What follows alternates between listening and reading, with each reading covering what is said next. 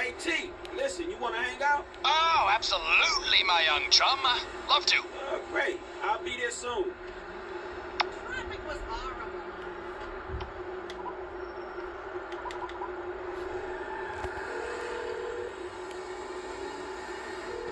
Hey, T, it's me, man. I'm sorry.